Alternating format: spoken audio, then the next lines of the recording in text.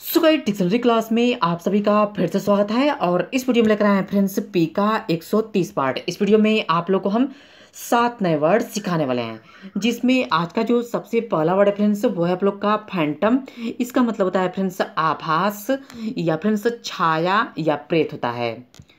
दूसरा word friends pharaoh. Pharaoh मिस होता है मिस्र के बादशाहों की उपाधि। आप लोग यहाँ पर पूरा लिख लीजिएगा।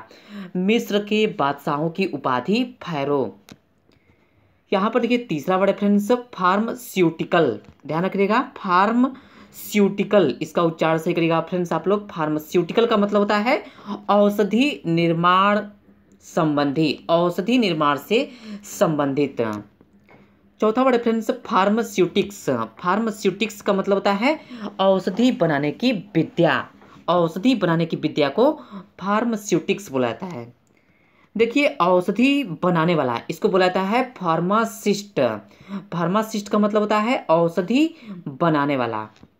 यहाँ पर नेक्स्ट वर्ड है आप लोग का, फार्माकोलॉजी। फार्माकोलॉजी में होता है औषधि विज्ञान। ठीक है?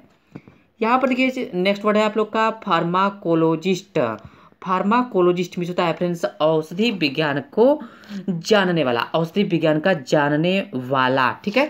आप लोग यहाँ पर पूरा लिख लीजिएगा औषधि विज्ञान का जानने वाला फार्माकोलॉजिस्ट यहाँ पर जो लास्ट वर्ड है फ्रेंड्स वो है आप लोग का फार्मेसी इसका मतलब होता है औषधालय या औषधि बेचने की दुकान okay?